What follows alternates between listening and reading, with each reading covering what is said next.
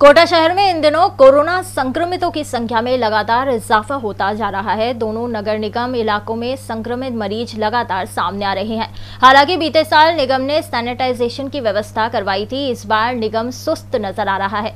SDN ने दिखाया था कि निगम के गैराज में सैनिटाइज मशीनें कबाड़ में तब्दील हो गई हैं। उसके बाद निगम के स्वास्थ्य अधिकारी नहीं चेते। वहीं इस मामले में कोटा दक्षिण डिप्टी मेयर पवन मीणा का कहना है कि निगम में हाइपोक्लोराइड की कमी नहीं है। कोटा दक्षिण के वार्डों को नो जोन में बांटा गया है। प्रत्येक जोन में दो दो मशीनें दी गई हैं जो कि संक्रमित व्यक्ति के घरों के आसपास जाकर छिड़काव करेंगी।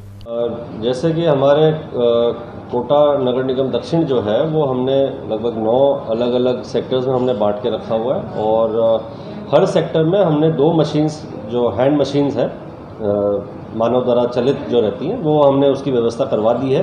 और हमारे पास पर्याप्त हाइपोक्लोराइड की व्यवस्था भी है। अगर जहाँ जहाँ से भी अगर कोई शिकायत आती है, कहीं पे कोई कोरोना पॉजिटिव पाया जाता है तो उससे घर के आसपास का सैनिटाइजेशन की अगर कोई भी रिक्वायरमेंट आती है तो हम उस चीज़ के पूरी तरीके तैयार हैं। इस घड़ी को आप अन्यथा ना लें, इस घड़ी को आप हल्का ना समझें, क्योंकि आपने और हमने जो पिछला एक साल है, वो बहुत बुरा देखा है, किस तरीके से हमारी जेब पर जो है मार पड़ी थी लॉकडाउन के समय पे। हमने और हमारे परिवार ने और पूरे शहरवासियों ने बहुत समस्याओं का सामना करना पड़ा था। ऐसी स्थिति वापस ना उत्पन्न हो, वापस आपके और हमारे बीच में ना आए, इसीलिए आपको पूरे कोटा शहरवासियों को मेरा हाथ जोड़कर विनम्र निवेदन है कि इस स्थिति को आप हल्का ना लें।